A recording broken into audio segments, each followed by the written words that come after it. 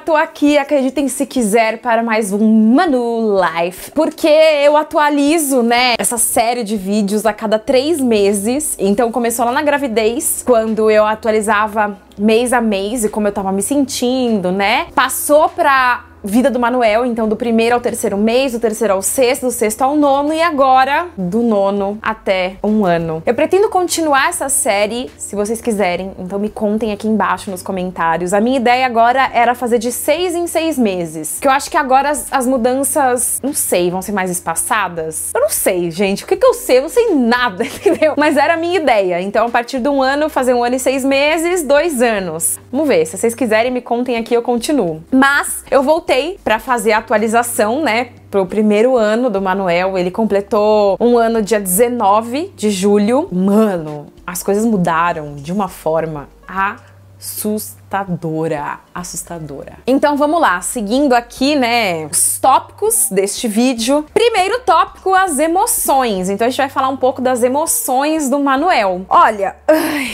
que difícil. O que, que eu sinto? Eu sinto que ele tá aprendendo cada dia mais a expressar suas próprias emoções. Isso é maravilhoso, facilita o entendimento, né, sobre quem ele é e sobre o que ele gosta, o que ele não gosta, o que ele quer, o que ele não quer. Mas é perigoso também, porque o bebê, né, começa a aprender traquejos sociais. Não sei se dá para dizer que é um traquejo social, mas ele entende que quando ele chora, alguém pega ele. Ele começa a usar desses artifícios, né, do que as emoções dele significam, o que, que as emoções dele resultam, pra manipular, gente. Não, mentira, manipular não é a palavra, mas pra conseguir o que ele quer. Eu acho isso ótimo, porque é bem por aí a vida mesmo, né? Mas em algum momento começa o papel como educadora ali, né? E isso é muito curioso. A gente teve uma consulta agora, né? No dia seguinte que ele fez um ano com a pediatra, e ela falou uma coisa que eu fiquei com aquilo na mente. Eu falei, vou guardar isso que eu preciso contar para as pessoas no YouTube, no vídeo do Manu. Ela disse o seguinte: a nossa geração, nossa, minha e dela, então 30 e poucos anos, a gente foi é, muito educado, né, pela geração dos nossos pais ou cuidadores da época, enfim, a saber quando a gente estava feliz ou triste. Então, dificilmente se sabia é, distinguir uma emoção que você estava sentindo. Essa coisa da saúde emocional, né, saúde mental, não era explicada pra gente. Então, você sabia que estava triste ou feliz. E isso acompanha o seu crescimento até a vida adulta. Então, tem muito adulto que tem dificuldade de categorizar as emoções que ele sente, porque não foi educado assim. E faz muito sentido isso. Não à toa a gente é uma geração que, meu, terapia, psiquiatra, remédio, problemas de em lidar com as próprias emoções. Fez muito sentido para mim na hora quando ela falou. E por que, que ela falou isso? Para nos contar a importância da gente explicar as emoções que o Manuel tá sentindo para ele mesmo. Então vou dar um exemplo. Por exemplo, o Manuel ama subir a escada que tem aqui. A gente já mandou fazer portõezinhos para ele não subir, mas ainda não chegaram. Conclusão, ele quer subir aquela escada toda hora. Quando tem alguém acompanhando, massa é até legal para o desenvolvimento deles e coordenação motora, mas quando não tem, isso pode ser perigoso num grau que me dá até medo pensar. E quando a gente tá vê que ele tá indo até a escada, nem sempre dá pra gente ficar subindo e descendo com ele, né? Porque enfim, a vida tá acontecendo. Então a gente vai lá e tira ele e explica que não pode. Ele ainda não tem discernimento suficiente para entender que não pode, por que não pode, enfim, mas ele fica extremamente frustrado, porque ele não pode fazer uma coisa que ele quer fazer. É quase como se ele fosse a Dory do Procurando Nemo, escada, escada escada, quero subir na escada, entende? E aí alguém vai lá e fala, não vai subir não. Agora não. E aí ele fica frustrado. Então, qual é a ideia? Explicar para ele que ele tá sentindo um sentimento que se chama frustração. Por que que ele tá sentindo isso? Então, filho, eu sei, você tá chorando, você tá berrando, você tá esperneando. É horrível, né? A gente não poder fazer o que a gente quer na hora que a gente quer, mas a vida é assim, né? Então, papai e mamãe agora não podem, porque estão fazendo outras coisas. Se você subir sozinho, você vai se machucar. Então, isso que você tá sentindo é a frustração. É muito difícil fazer isso com a criança. Mas você pense, o adulto nessa relação sou eu. Ou deveria ser.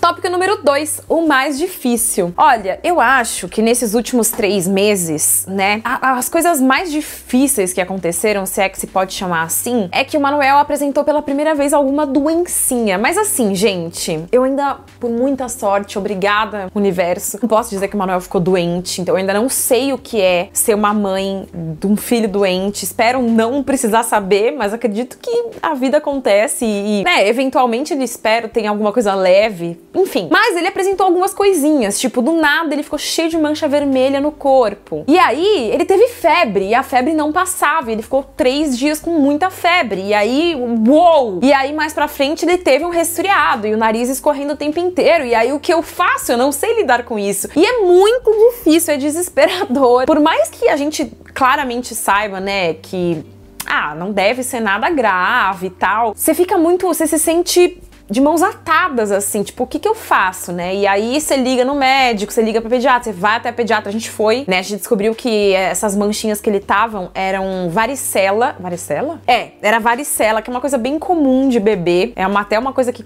constrói a imunidade dele, que passa sozinho, enfim. Mas disso para três dias de febre que não passavam, caos, né? Caos. Não tem como definir isso de outro jeito. E é difícil. É difícil, é difícil a sensação, é difícil o bebê não falar o que ele tá sentindo. Acredito que com o tempo a criança vai podendo identificar para os pais: dói aqui, dói aqui, coça aqui, coça aqui, tô mal, tô com fome, tô sem fome. Eu acho que essas coisas vão talvez tirando peso da incerteza ali, sabe? De tentar adivinhar o que, que tá acontecendo, né? E foi difícil. Foi difícil, mas assim, é, como eu disse, graças a universos, aos universos, não foi nada sério e tal, mas foi difícil. Terceiro tópico, a maior surpresa.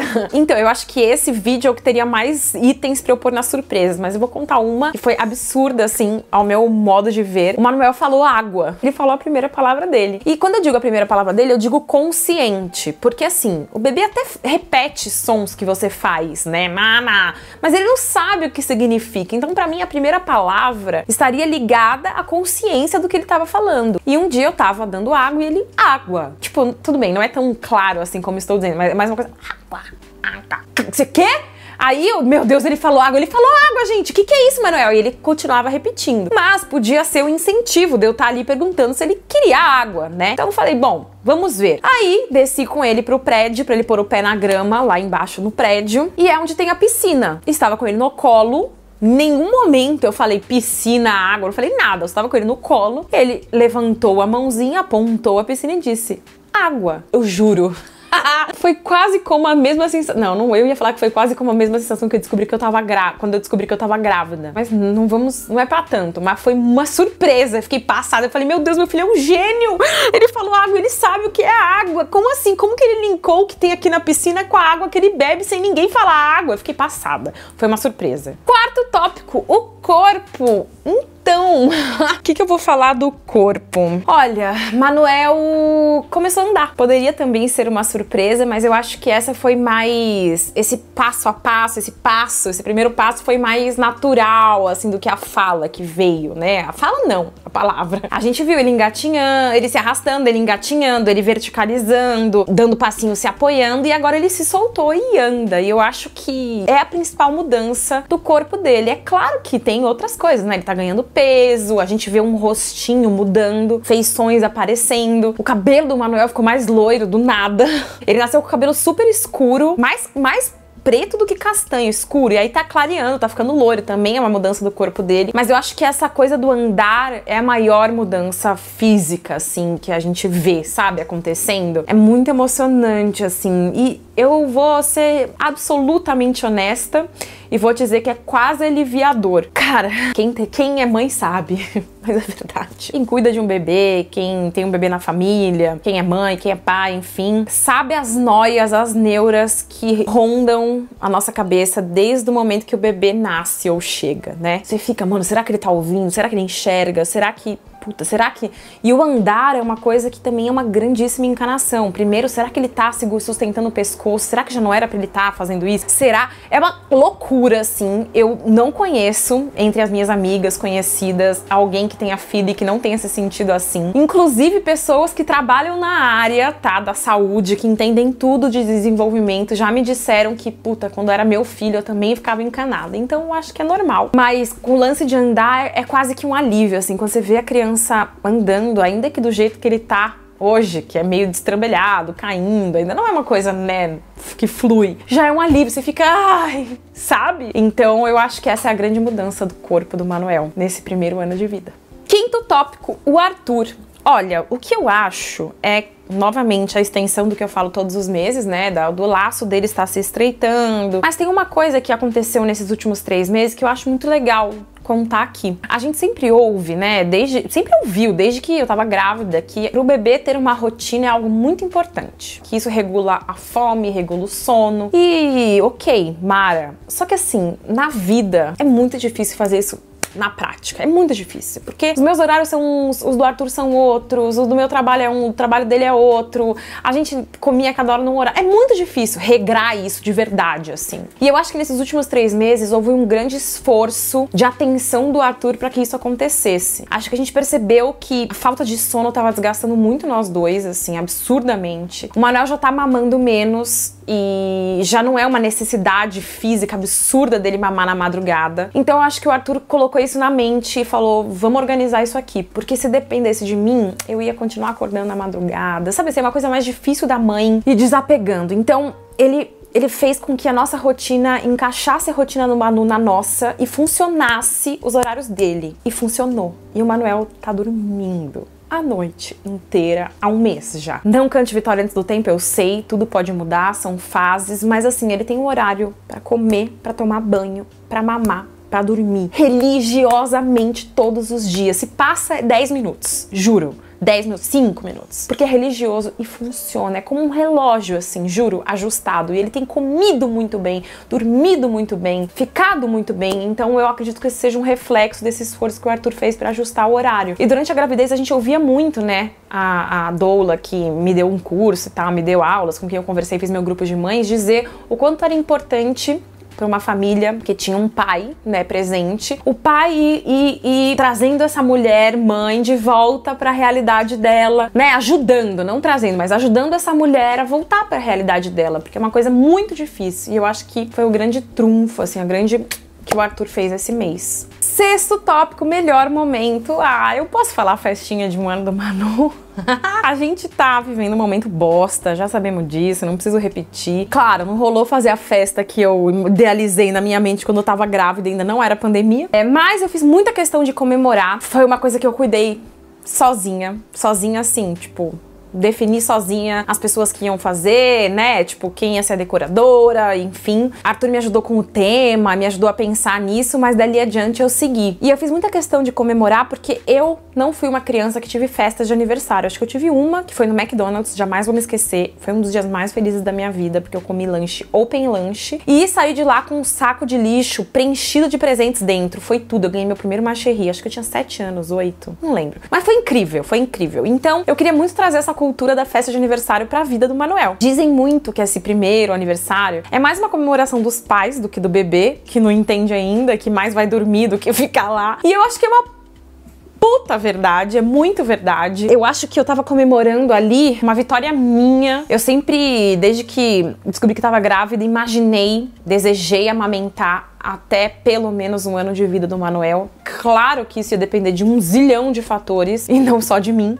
mas era um desejo que eu tinha e que eu estava comemorando naquele momento ter conseguido. Acho que há um ano eu sou mãe, há um ano o Arthur é pai, há um ano a nossa família aumentou e mudou absolutamente. Então acho que é uma série de comemorações que não só a vida do bebê, ainda que seja a principal, né? Celebrar que aquele bebê tá ali, que aquela coisinha frágil que era desse tamanho tá ali bem, sabe? É um motivo e tanto para comemorar comemorar. Então a gente fez aqui em casa um almoço, que foi mais uma rave, porque durou o dia todo, só com os nossos pais e a Mac. E foi uma delícia, assim, juro, gente. Eu ri muito, eu me diverti, eu extravasei, eu me libertei, assim, sabe? Quando você foi isso, assim, eu acho que não tem outra palavra. E foi tudo do jeitinho que eu realizei, sonhei, desejei, ainda que diferente lá de quando eu tava grávida, mas dentro da possibilidade foi um sonho. Então foi um momento muito legal. E o Manuel se divertiu, assim, a gente vê as fotos e fala, ah, ele tava curtindo, sabe? Foi, foi demais. Sétimo tópico, pior momento. Que loucura, né? Falar do pior momento, mas vamos lá. Eu sinto que o lance de criança da pandemia, bebê da pandemia, é muito verdade. A gente levou o Manuel no parque, eu, meu pai e minha mãe, e o Cookie, recentemente. E foi muito difícil Manuel chorou da hora que a gente chegou até a hora que a gente foi embora. Ele odiou a grama, ele não queria pôr o pé na grama. Ainda que duas vezes durante esse um ano eu tenha saído com ele de São Paulo e feito isso acontecer, ele era mais bebê, porque não tinha ainda, né? Se expressava menos. Mas agora não. Agora claro se ele não tá gostando, não tá feliz de, com uma coisa. E ele odiou, assim, todo o rolê. Tinham pouquíssimas pessoas. A gente foi numa pracinha, nem era um parque, era uma pracinha, assim, né? Tinham alguns outros bebês muito distantes e tal. Mesmo assim, ele claramente estava sentindo medo, não queria estar tá ali. E eu fiquei muito triste, assim. Eu saí de lá arrasada, preocupada, pensando, e agora, né? Esse bebê quase não tem interação com outras pessoas, ele só conhece as mesmas pessoas, ele não vai em lugares com muita gente, ele não vê pessoas desconhecidas, ele não vê outros bebês a não ser meu sobrinho, que é menor que ele. Tipo, cara, ele não pisa em outro chão, sabe assim? Meu, comecei a entrar numa paranoia muito louca, eu me senti muito triste, me deu um estalo na cabeça, tipo, eu preciso flexibilizar o que tá rolando aqui e fazer esse bebê se acostumar. Então, assim, sair mais com ele, protegidos, distanciamento social, lugares abertos, mas fazer isso acontecer mais, assim, porque eu não sei que que influência, que resquício isso vai ter na vida dele, sabe? E eu acho muito injusto que eu não faço o que eu posso para tentar contornar isso, né? Dentro da minha realidade, da minha possibilidade, da possibilidade do mundo, do nosso país, enfim. Mas foi triste, assim. Foi um dos piores momentos. Eu fiquei muito triste. Fiquei muito pensativa e ainda estou, ainda estou. Oitavo e último tópico, insight, que é aquela coisa que eu penso e né? Estoura meu cérebro durante esses meses com essa nova nomenclatura entre as minhas funções, que é mãe. Olha, eu tive alguns, acho que essa coisa dos sentimentos que eu falei lá no primeiro tópico foi uma das coisas, mas eu vou falar de uma coisa pontual que tem muito a ver com a minha realidade, mas que eu preciso dizer porque eu acho que pode casar com a realidade de outras pessoas e já que esse aqui é um vídeo do meu canal sobre o meu bebê e a vida dele, cabe aqui, né? Durante os 10 primeiros meses de vida do Manuel, a gente teve um total de zero ajudas profissionais, tá? Eu sempre disse a vida inteira que se um dia eu tivesse um filho, eu ia chegar da maternidade em casa e eu já queria ter alguém ali para me ajudar, para ser uma babá, uma cuidadora, enfim, para me ajudar. Eu fiquei grávida, esse pensamento foi se transformando na minha mente. Veio a pandemia e aí o pensamento mudou em absoluto, né? Virou uma coisa impossível. Então, durante muitos meses foi só eu e o Arthur, literalmente, sem ajuda para mais nada, nem para limpeza da casa, para mais nada. Minha mãe se desdobrando ali como dava para me ajudar com comida, enfim, mas foi eu e ele. Aí as coisas foram melhorando um pouco. Nossas famílias começaram a fazer mais parte dessa rede de apoio e foi muito bom. E a gente começou a pensar na possibilidade de ter uma babá. A gente entrevistou algumas pessoas e eu não conseguia. Aquilo me angustiava de uma maneira que eu não consigo descrever aqui. Gente, não existe certo e errado. Não existe certo e errado. Respeitem as mães, respeitem a decisão das pessoas, tá? Respeitem a minha também e respeitem de quem pensa completamente diferente de mim. Eu tô contando uma experiência. Aquilo me angustiava demais e eu não conseguia. E eu tava assim, entrando num poço sem fundo, porque eu tava muito infeliz com o meu trabalho. Na verdade, não com o meu trabalho, mas com a forma como eu estava lidando com o meu trabalho, porque eu não conseguia nem cuidar do Manuel, nem fazer meu trabalho direito. Eis que veio a ideia, Arthur teve a ideia, o insight de chamar uma pessoa que a gente já conhecia para nos ajudar com o Manuel Manuel. Caramba, pode ser? Então, temos hoje uma amiga, e eu gosto de chamar ela de amiga, que me ajuda. Ela não é oficialmente uma babá, ela nunca foi babá, ela nunca cuidou de criança a não ser dos filhos dela. E isso era ótimo para mim, porque eu queria alguém que fosse construir comigo um modelo de do que, que seria essa função. Então ela me ajuda, ela faz o que, né, ela me ajuda, ela é minha amiga, ela é uma ajudante, sabe? Mas na maior parte do tempo ela está com o Manuel para que eu consiga trabalhar e o Arthur também ao mesmo tempo e de boa, sabe? E tendo alguém cuidando do Manuel com qualidade, né? A gente pensa assim em incluir uma escola